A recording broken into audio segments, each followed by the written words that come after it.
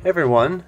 So today I decided to get a little technical and test the input lag difference between the popular Shmup MAME and the newly released run ahead feature on RetroArch.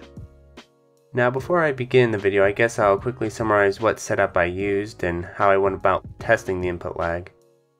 So my setup was I'm using my PC that's pretty beefy, so it has no problem, you know, running run ahead and all the features associated with that. I'm using a arcade stick for my input method and then a CRT monitor for my display. So there's no display lag because I'm using a CRT.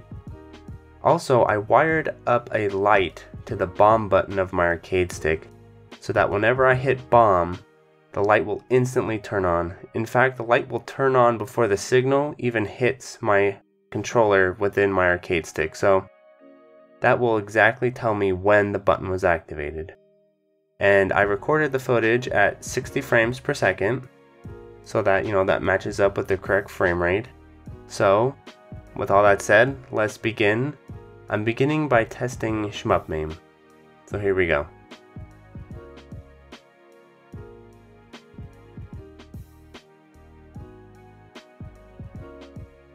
Now what you notice is that you see in the left corner it says frame 0.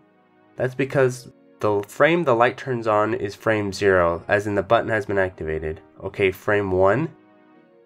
And what we're looking for actually is the bomb indicator in the left corner to disappear. And frame 1, no. Frame 2, there we go. So it took two frames, this is on Shmup MAME, from me hitting the button for it to be displayed on the screen. So two frames for that bomb. Again, another test in Shmup MAME. Frame 0, the light is just barely on, you can see that. Then we have frame 1, and now you see the light is kind of fully on. And again, no bomb. Look how close that bullet is to me. And then frame 2, the bomb activates just in time, and you see the bomb indicator in the left corner has gone. So I did this test more than once. I did it like eight or nine times. I just showed you those two examples. Each time for two frames.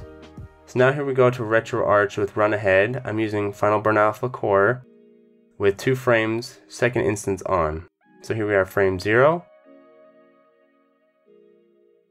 And now frame one, and look, the bomb has activated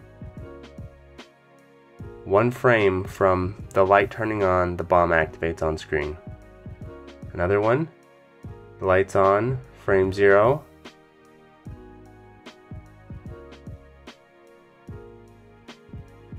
And again, one frame, and the bomb activates. The light is on.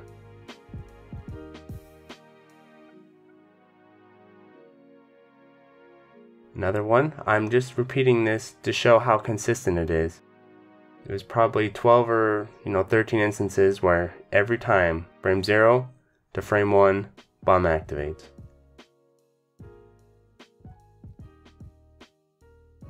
I think this next one's interesting. Nope, not this one, but the next one. Again, frame 0.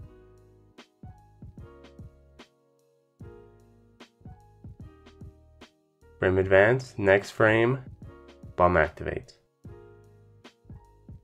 I believe this last one's pretty interesting to look at. So you see frame zero and you see how the light is pretty is dim. The light is just barely turning on, you can see. And then when the light reaches its normal power, already the bomb has activated. So when talking about this with my Discord, Jamers mentioned I should test Shmup MAME 2.2 version as that is you know believed to be faster than Shmup MAME 4.2, which is kind of the default one. So here we go, frame 0, light is activated, frame 1, the bomb has still not ignited, you can see in the bomb indicator. Frame 2, the bomb has activated, you can see. I did this a number of times, just like with the first shmup MAME. So I'm going to show you some more examples. Frame 0, you see the light is barely on, just like in that other test I was talking about. Next frame, the light is fully on, but the bomb has not activated yet, you can see. Frame 2, the bomb activates. The reason why I chose bomb is I believe there's no frame data for Dodonpachi I could find, but I believe the bombs are supposed to be instant. They're meant to be instant, so they're and the indicator for when they activate is extremely obvious. So I think they're a good way to test this kind of thing. So frame 1, still no activation. Here's frame 2, the bomb activates. This was consistent. Every single instance, it took two frames for the bomb to activate, every time. This is just another example, but it's going to be the same. Again, this I like this one because it shows the light is just barely coming on. The light is on, but the bomb has not activated yet. It takes two frames for that to occur, and here's the bomb. So in conclusion, when we come to the conclusion, it's actually a very solid conclusion. Shmup MAME, both versions 4.2 and 2.2, have two frames of lag. RetroArch Run Ahead has one frame of lag. And what's interesting is that Shmup MAME having two frames of lag, I believe matches PCB speeds. RetroArch with the run ahead is actually one frame faster than a PCB. Now, I've heard of people using frame advance and stuff in the emulators themselves, but I don't think those results are as reliable as a real-time test like this one because they don't account for things like your input lag from your controller or the polling lag of your USB ports and also just the processor lag of your computer, like your computer's OS and all that. I really would be shocked if there came a day where there was literally zero frames of lag, as in the second or the frame that light turns on is the same frame the bomb activates. It might be possible, but as of currently, I don't think so. So maybe something will be found in the future, but I doubt it. Anyway, so thanks for watching.